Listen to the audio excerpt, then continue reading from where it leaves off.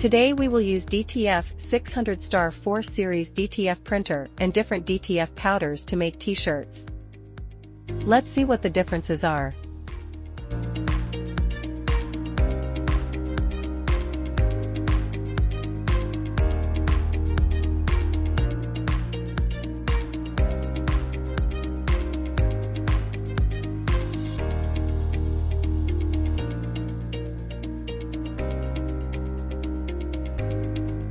The process is very simple.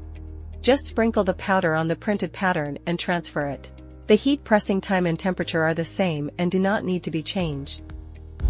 It can be clearly seen that the clothes made with anti-sublimation DTF powder have a firm pattern no matter you leave it for a long time or wash it many times, and the color of the clothes itself will not show through the pattern.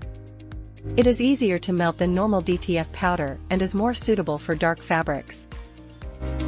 Now do you know which DTF powder to choose?